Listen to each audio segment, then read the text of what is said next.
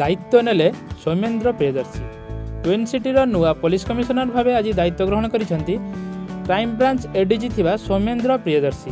ତେବେ ଏହି ଦାୟିତ୍ୱ ମିଳିବା ପରେ ସୌମେନ୍ଦ୍ର ନିଜର ପ୍ରତିକ୍ରିୟା ରଖିଛନ୍ତି। ସରକାର ତାଙ୍କ ଉପରେ ବିଶ୍ୱାସ ରଖି ଏକ ଗୁରୁ ଦାୟିତ୍ୱ ପ୍ରଦାନ କରିଥିବାରୁ ସେ ଦାୟିତ୍ୱ ସମ୍ପାଦନ କରିବା ପାଇଁ ଉଦ୍ୟମ କରିବେ ବୋଲି କହିଛନ୍ତି।